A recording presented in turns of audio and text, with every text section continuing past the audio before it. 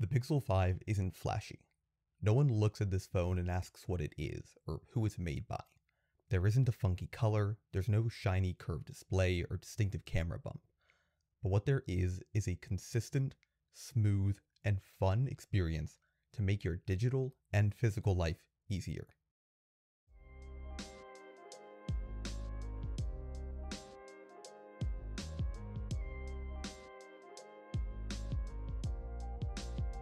This is the Pixel 5. I want to start off by saying that no one has paid me or influenced me to say anything in this video. I have no sponsor, no review unit, no contract, nothing. Everything that I say here are completely my own thoughts. What is the Pixel 5 like to use? Simply put, a treat. It's unobtrusive but smart, powerful but efficient, complex but incredibly easy. The first thing you notice when picking up this phone is the design and in-hand feel. It's incredibly thin and very light. The curved sides sink into your hand and you feel the smooth but slightly tactile bioresin coating. This is a plastic designed from oils produced by organic compounds stretched over an aluminum frame to cover up the hole made for the wireless charging coils. I have here the just black color, but it also comes in sorta sage. The coating feels a little rougher than the glass sandwiches we're used to on phones nowadays, with a little sparkle thrown into the paint. I wish it had a little more texture to keep the phone from sliding, but personally the aluminum is better than glass for durability, and the paint covers up the antenna lines found on most devices. This is also a fairly small phone with a 6 inch display that makes for a fairly easily one-handable device. It's not perfect, one-handed typing is a little difficult to stretch all the way across, but this is nowhere near a giant tablet of a phone. The thinness and lightweight contribute to this device feeling like an actual communicator, not a pocket PC. Handling this device, you'd also notice that the camera is positioned far enough away that your fingers don't continuously smudge it, although there is an indicator in the settings of the camera if you do and the phone doesn't rock that much on a table. The thing that is in the perfect position to be smudged, however, is the pixel imprint. This sensor is quick, very accurate, and sensitive to gestures. My only complaint is the recessed nature of the scanner, but a case quickly solves that problem. I do wish there was face unlock, as having to lift the phone to unlock can be frustrating if the phone is on a table, plus the scanner doesn't work if your finger is wet or dirty. For most of these conditions, however, Smart Lock can pick up the slack at the cost of some security. Overall, the buttons remain clicky, although I wish the power button had some color to it. And they have good placement. IP68 dust and water resistance is present, and on my year-old unit, I haven't found there to be any screen separation, like on some of the early Pixels. Speaking of this unit being a year old, it's held up fairly well, although there are more scratches and discoloration on the back than I expected, and the screen is held up quite well, minus my drop. While a downgrade from the Pixel 4, the haptics feel sharp and detailed, and the software makes heavy use of the vibration motor to make Android feel more alive. Another downgrade from the Pixel 4 is Active Edge, the ability to squeeze the phone for assistant. The justification here was to bring down cost, but Active Edge went into the $400 3A, so I don't quite get it. Using the Pixel 5 is a delight, especially without the worry of shattering this phone. I would have liked to see more color thrown in, giving me a reason to rock this phone without a case. The sort of Sage option didn't look quite appealing to me. I stuck with just black, a minimalist phone. Flipping over from the design is the screen, continuing the idea of helpfully unobtrusive in all of the best ways. This is a 6 inch Full HD Plus display that looks great. Using this panel, colors are crisp, blacks look incredibly deep. Brightness is decent, although in direct sunlight you might need a little more, and there's no ghosting.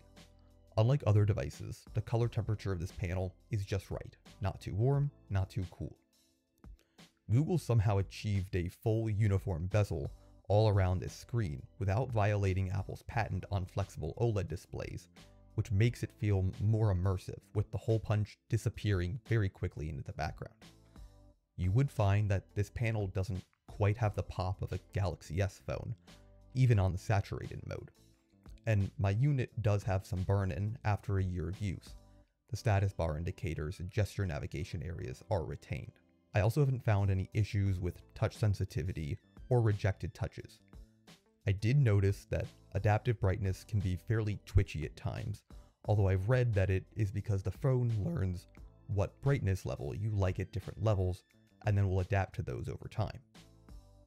Side note, I noticed on both the Pixel 5 and the 4a, there is a pronounced lip between the screen and body, a noticeable change in materials, something not as present on the iPhone or Galaxy devices I've tried. It doesn't affect usage or even collect dust, but it doesn't feel or look that nice. Back to the screen, something you won't find. The earpiece speaker, which lives under the glass. Looking over comments across the internet, this is a fairly divisive piece of the Pixel 5. It's enough of an issue for some people they wouldn't even purchase the 5. Of course, you decide how to spend your money, but in my personal experience, it's not that much of an issue. Like most Gen Zs, I use headphones predominantly, and the rare times I took a phone call or watch a video without them, the Pixel 5 is loud, if tinny, and lacking in bass and stereo separation. I'm not saying it's fantastic, great, or even good, just good enough for sporadic, casual use. Like the design of this phone, the screen melts away, giving you a window into your content and the beautiful, smooth world of Android. Here, the Pixel 5 shines. This isn't stock Android, but Google's version of Android, and it is wonderful. There are so many little touches and helpful pieces. This phone is smart and it's useful, knowing what you need and getting it to you. There are so many Pixel exclusive features like call screening, so I never worry about spam calls, flip to activate Do Not Disturb, now playing to see songs all around you. The Pixel 5 offers the Safety app to call emergency services if you get into a car crash, the exclusive voice recorder, which can translate voice to text. And then there's the Android features. Once again, the theme is helpful. Notifications are grouped intelligently. Extra points to the notification history feature as well. Google doesn't go as aggressive with battery savings, meaning I actually get notifications in the background. The always on display is beautiful, both the animations and the information that I get. I love being able to control different volume settings without leaving the app I'm in. Scrolling screenshots are very useful, and sharing those screenshots is incredibly easy with the updated share sheet. Selecting text and being able to call a phone number or get directions is a nice touch, just as a bedtime mode in the clock. The Your Phone integration between Android and Windows makes this a nice ecosystem like Apple. I didn't have any issues moving between Android and iOS, nor did I have any problems with Bluetooth. In general, I love using Android.